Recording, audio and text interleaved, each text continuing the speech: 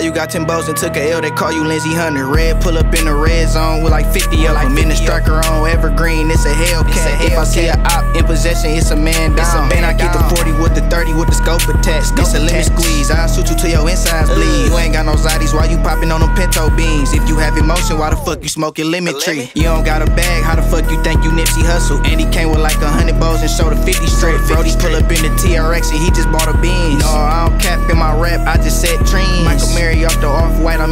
Gucci runners. How the fuck you put cups on the track star? Nigga, you a dummy, she gon' play you like it's Toy Story. Nigga, I got Bobby and Whitney and I'm taxing two. Whole gang like the Navy SEAL, you need a cleaning crew. And I slapped out in the zone, I brought them bows through. And never count the middleman out, they gon' eat too. Wanna be your own boss and load up on 20 jacks. That's what I thought.